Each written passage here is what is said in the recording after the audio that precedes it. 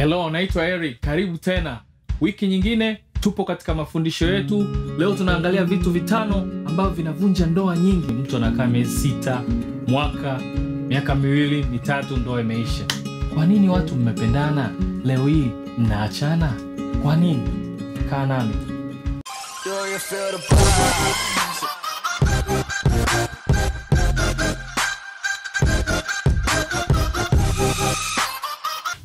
Jambo la kwanza, nitaanza na ndugu, jamaa na marafiki. Hawa watu ni miongoni mwa watu wanaovunja ndoa zetu wengi hapa. Tukianza na ndugu wan, uh, ndugu wana, wa- wana fansi, kuna vitu vyao wana fansi. Labda wewe umeoa huku, wao walitaka uoe huku, wataingia kwenye ndoa yenu, wataanza kukorofisha hiki, wataanza kuchokonoa hiki. Mtu anaingia mpaka kwa kabila, dini, tabia. Wewe ndio umeoa, wewe ndio umeolewa ndugu wanakuja wanaanza kucho usiwape nafasi ndugu wa kuanza kuchokonoa. Maana yake watakuja mpaka kwenye dustbin yako kuangalia mmekula nini. Hata kama umewakaribisha vizuri uko pisi nao lakini kuna vitu wanapenda kuchokonoa na hii iko kote. Nakwambia kaangalie kachunguze na utajua. Marafiki in this context wanakuja kwamba marafiki umemkaribisha nyumbani kwako unamwamini unaweza ukamwambia vitu vyako development yako wewe na mke wako. Lakini akaja akaanza kuongea vitu vya ajabu kwa watu. Akaja kumwambia mke wako au mme wako vitu vya ajabu. Yaani huwezi kuamini kwamba your friend amekuja kusema vitu vyote hivi. Sasa huyu ni rafiki wa aina gani? Huyu inabidi tuangalie sana.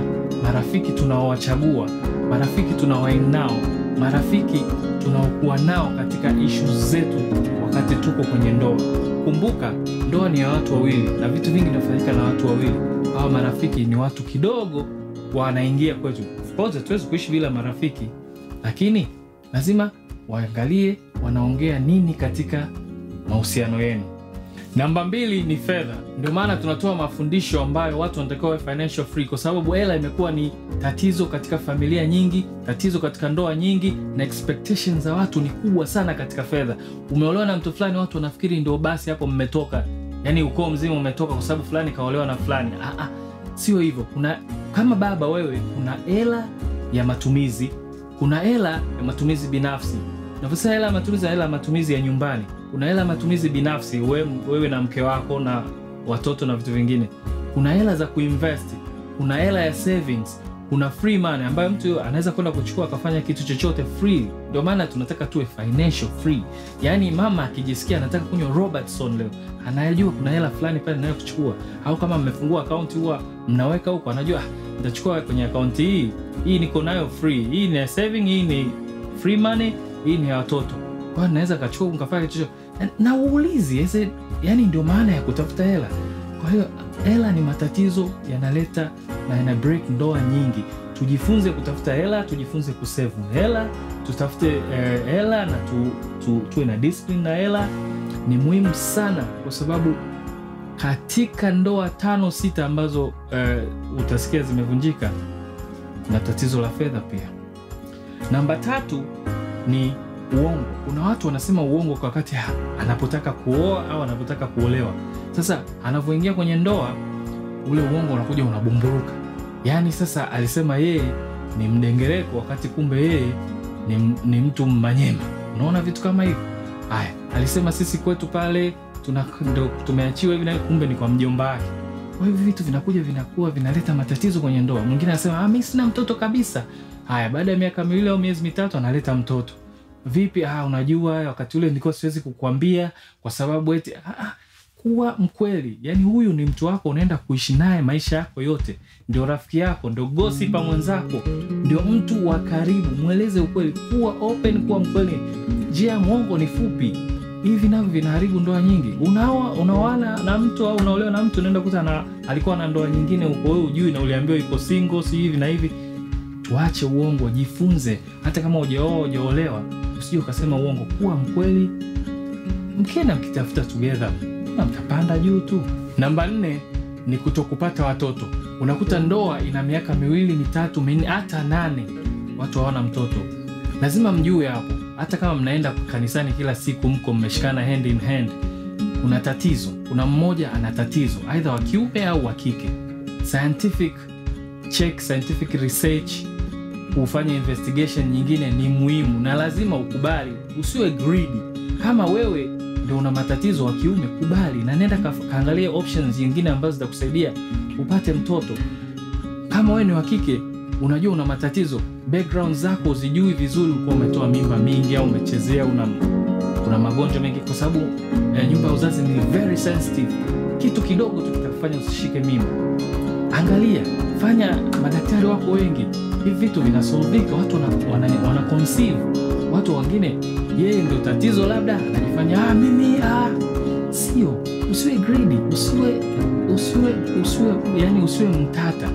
Nenda na mke huyo ndio mke wako. Nyinyi ndio mnataka mtoto. Na mtoto ndio furaha ya nyumba. Mtoto ndio furaha ya ndoa. Asikudanganye mtu unconditioned love iliyoko na bond iliyoko kati ya mtoto na mzazi ni kubwa mno. Haiwezi kuelezeka. I love my kids i love my daughters nawapenda mno na wananipa raha mno. Na namshukuru mke wangu kwa kunizalia watoto wazuri. Lazima ukubali tatizo liko kwa mtu mmoja. Kati yenu wawili kuna mtu ana tatizo. Go and check. Sio mnaenda kanisani miaka saba hamjapata mtoto bado mnaendelea kwenda kanisani miaka saba. Achana na mambo ya kwa waganga. Nenda kaangalie, kuna fakti kina happiness wamepata watoto walikuwa wameambiwa ha, kina magesi wameambiwa hatapata watoto lakini wamekuja wamepata watoto. Na kila siku tunasikia huyu alikuwa yuko hivi yuko above 45 lakini wanapata watoto. Kwa hiyo kubali tatizo liko katika mmoja wenu aidha wa kike au wa kiume. Mtoto ndio ndoa mtoto ndio furaha ya nyumba. La tano ni tendo la ndoa mapenzi. Katika ndoa mapenzi sio kitu cha kuwa bubu wewe na mwenzako inabidi muwe mna discuss hizi topics. Sio vitu vya kuona aibu wala ku, ku, kuambiana au kuwa bubu. Hivi ni vitu mnatakiwa kushare. Kila mtu anataka afikishwe pale anapotaka kufika. Huyu akitaka kwenda kilele cha mlima kilimanjaro afikishwe. Akitaka kwenda mlima meru afikishwe na uhakikisha amefika. Na utasikia zile shukurani zinakuja mahali panapotakiwa. Communication au mawasiliano imekuwa ni kitu ambacho ndoa nyingi hawafanyi hivyo. Na hii inaleta matatizo kwa sababu kila mtu ana kitu anapenda kufanyiwa katika staili yake na huwa ana appreciate akifanyiwa hivyo katika staili yake.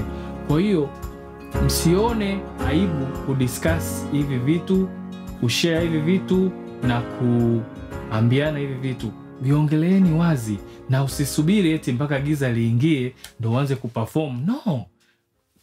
Time kama mwenzako yuko vizuri endeleeni. Nyinyi ni wanandoa mko free.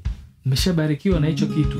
Hiki kitu kimekuwa kime, kinalalamikiwa na kinavunja ndoa nyingi kwa sababu mwingine anashindwa kufanya mambo mwingine anashindwa kufanya hivi mwingine anashindwa kutekeleza majukumu yake anaanza kusingizia yuko busy. Kama uko busy basi get busy. Ha? kama uko busy get busy pia. Lakini sio unaacha.